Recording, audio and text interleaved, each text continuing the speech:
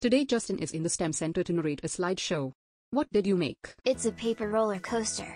It starts with a box, and I also have a zigzag, stairs, funnel, half pipe, track, and a tower. We ask the kids to start at the bottom and work their way up. If you start at the top, it will be hard to reach down in.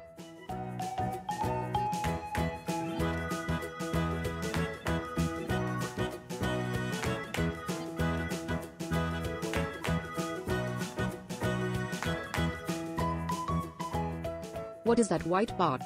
It's just an index card that I folded and taped to make the half pipe a little higher.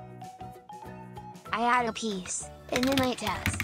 I add another piece, then I test again. Why is that? If the marble falls off, you need to peel off some tape and make the track lower. Brian, why have the kids make two tracks instead of one big one? The box is only so tall.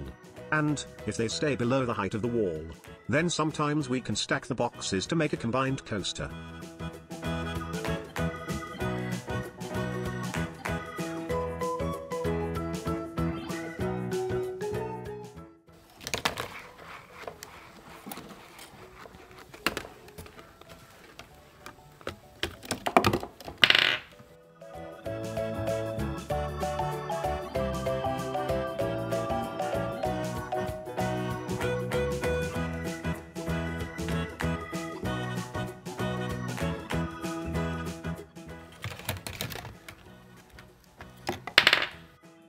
What are those stickers?